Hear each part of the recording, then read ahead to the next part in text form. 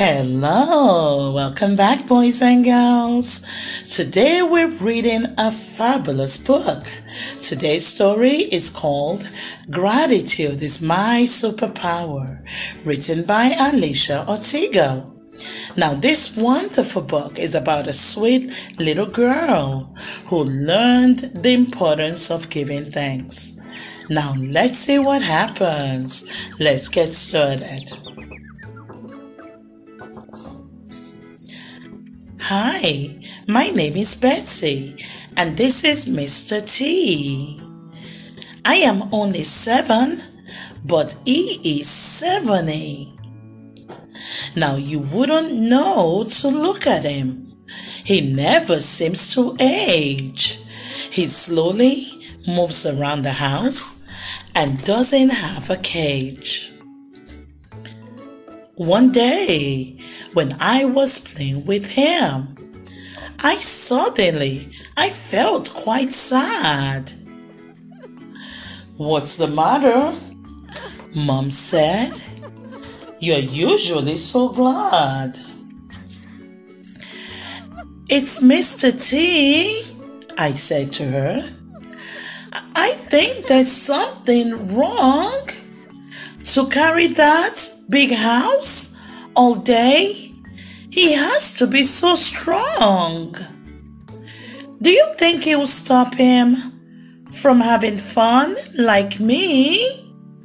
I've never seen him run or jump as happy as can be. Oh, my dear, you mustn't worry. Mr. T is fine. You see, turtles have different needs in life. They are not like yours or mine. The nature of a turtle is harmless, quiet, and shy. And they love to hide inside their shells when people pass them by.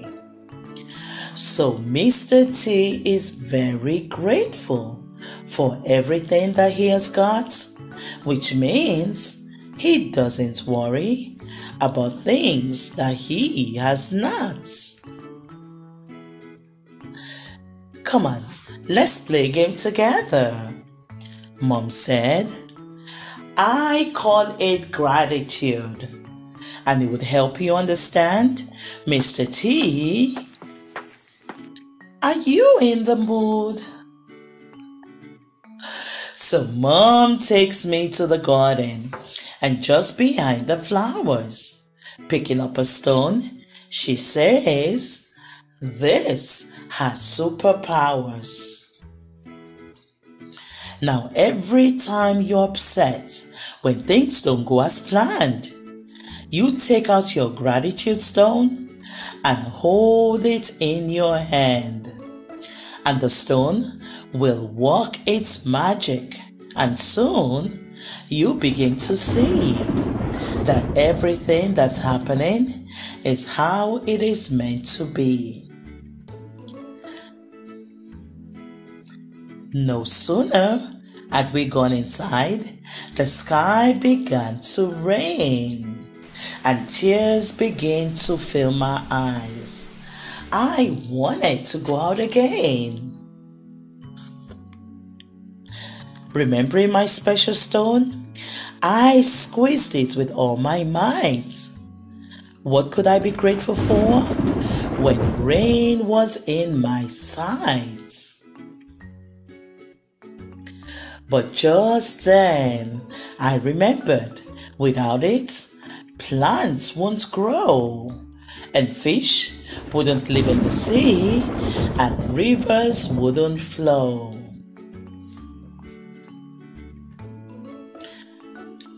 You, Sky, for raining. You're really rather clever. Now I know the job you do. You can rain whenever. And next morning, when it's time to wake, my body's filled with dread. Going to school is the last thing I want. I'd rather stay home instead. Beneath my pillow is my stone, and I squeeze it once again, remembering the friends that I'd see and my teacher, Mrs. Blaine. Now at school, I had forgotten today was sibling day. I don't have any siblings, so I didn't know what to say. My stone will have the answer. I thought. I'll squeeze it and we'll see. Of course, I said. I'm grateful because I have Mr. T. Now at dinner time, it worked again when mom put down my plate. No yummy cake, but rice and veg, which I didn't appreciate. But then I remember the children who weren't as lucky as me to have a healthy warm meal cooked by their mommy. And at bedtime, when I'm not tired and I just want to play instead, I am grateful for my turtle PJs and warm and cozy bed. But just then I remember I'm not even carrying the stone. Mom! I shout. I did gratitude and I did it on my own. Of course you did, my darling, because gratitude is in there. Upon my heart, she places her hand, and with the other, she strokes my hair. So, gratitude is in all of us? I asked. And all we have to do is stop and think how thankful we are instead of feeling blue. So, next day during playtime, there is a new boy there with shiny braces on his teeth and curly light brown hair. Now tears were falling down his face he wished he had not moved. A decision made by his parents, and he had not approved.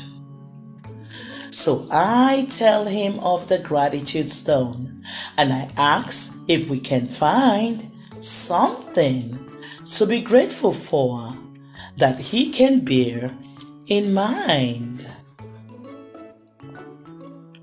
And so he holds the stone and thinks for a minute, and then a smile across his face.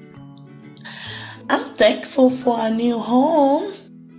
The garden has so much space. Now, every time I go out, I make sure to have with me at least one stone to pass on along with my story.